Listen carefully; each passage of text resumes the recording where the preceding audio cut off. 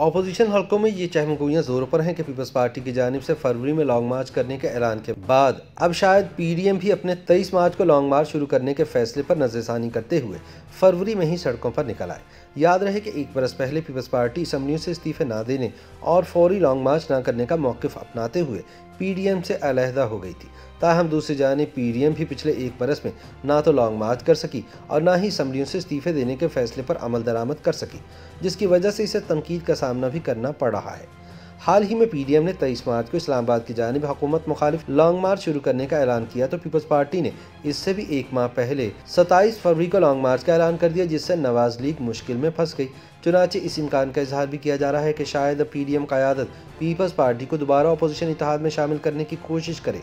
ताकि हुकूमत मुखालिफ लॉन्ग मार्च मुश्तर तौर पर शुरू किया जा सके। दूसरी जानब सबक सदर आसिफ जदारी ने पी डी एम में दोबारा शमूलियत के इम्कान को मुस्तरद कर दिया है, जिससे सियासी सूरत हाल मजीद गंभीर हो गई है। सियासी तजियाकार समझते हैं कि लॉन्ग मार्च के मामले में पी डी एम बिलखसूस नून लीग और जमीयत इस्लाम फे ने पीपल्स पार्टी को इतिहाद से निकलने पर मजबूर किया था, लेकिन बाद पी डी एम ने भी लॉन्ग मार्च के मामले में यू टर्न ले लिया था। अब जबकि पीपल्स पार्टी ने पी डी एम से पहले फरवरी में कराची था इस्लामाबाद लॉन्ग मार्च का ऐलान करके तुरब का पत्ता खेल दिया है तो पीडीएम भी चाहती है कि पीपल्स पार्टी के साथ दोबारा हाथ मिलाकर तेईस मार्च के मुजवज़ा लॉन्ग मार्च की बजाय सत्ताईस फरवरी को ही मुश्तर लॉन्ग मार्च किया जाए। ताहम नून लीग और जे यू आई की ख्वाहिश के जवाब में आसिफ जरदारी ने पी डी एम में वापसी के इम्कान को मुस्तरद करके सूरत हाल को गंभीर बना दिया है। तजियाकारों के ख्याल में आसिफ जरदारी लीगी क्यादत और मौलाना फजल रहमान को घुटने टेकने पर मजबूर करना चाहते हैं। बाज दीगर तजियाकार समझते हैं कि शायद जरदारी मुस्तबिल के मंजरनामे में पीपल्स पार्टी के लिए अच्छी डील हासिल करने की गर्ज से नून लीग और मौलाना से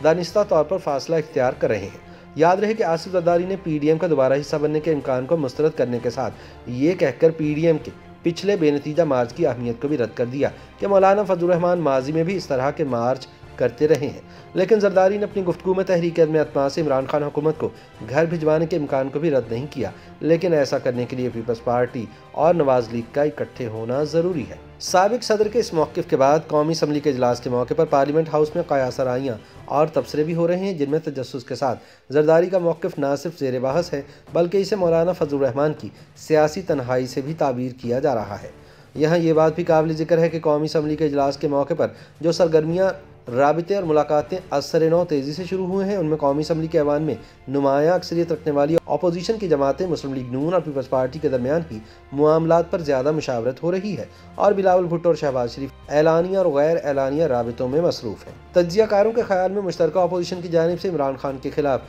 तहरीक अदम अतमाद लाने के हवाले से नून लीग और पीपल्स पार्टी इश्तराक अमल कर सकते हैं। मुस्लिम लीग नून के सेक्रेटरी जनरल एहसन इकबाल कहते हैं कि पार्लियामान में स्पीकर कौमी असम्बली और वजी अजम के खिलाफ अदम अतमाद की तहरीक लाई जा सकती है। उनका मजीद कहना था कि पीपल्स पार्टी चेयरमैन सैनेट के खिलाफ अदम अतमाद का फैसला करेगी तो हम उसकी हिमायत करेंगे। नून लीग के रहनमा ख्वाजा आसिफ भी कह चुके हैं कि बेहतर होगा कि हम पीपल्स पार्टी के सत्ताईस फरवरी को ऐलान करदा लॉन्ग मार्च में शामिल हो जाएँ। उनका कहना था कि मेरी ख्वाहिश है कि पीडीएम के प्लेटफॉर्म से सत्ताईस फरवरी के लॉन्ग मार्च का हिस्सा बनने का फैसला हो जाए। इस मामले पर पीपल्स पार्टी के रहनुमा मुस्तफ़ा खोकर कहते हैं कि पार्टी चेयरमैन बिलावल भुट्टो का ये पुराना और वाज मौक़ है कि हमें हुकूमत को निकालने के लिए पार्लिमानी ऑप्शन को इस्तेमाल करना चाहिए। उनका कहना था कि तब पीपल्स पार्टी की तजवीज़ रद्द कर दी गई और नवाज़ लीग और मौलाना फजल रहमान की जानब से इस पर इस्तीफ़ों के लिए दबाव डाला गया। मुस्तफ़ा नवाज़ का कहना था कि मैं समझता हूँ कि एक साल में इस्तीफ़े ना देकर पी डी एम ने बिलावल के मौक़ की तायद की है, जब पूछा गया कि क्या पीपल्स पार्टी कौमी असम्बली या सैनट में तहरीक अदम अतमाद लाने पर गौर कर सकती है तो मुस्तफ़ा खोकर ने कहा कि जी बिल्कुल, कौमी असम्बली और सैनट में तहरीक अदम अतमाद के हवाले से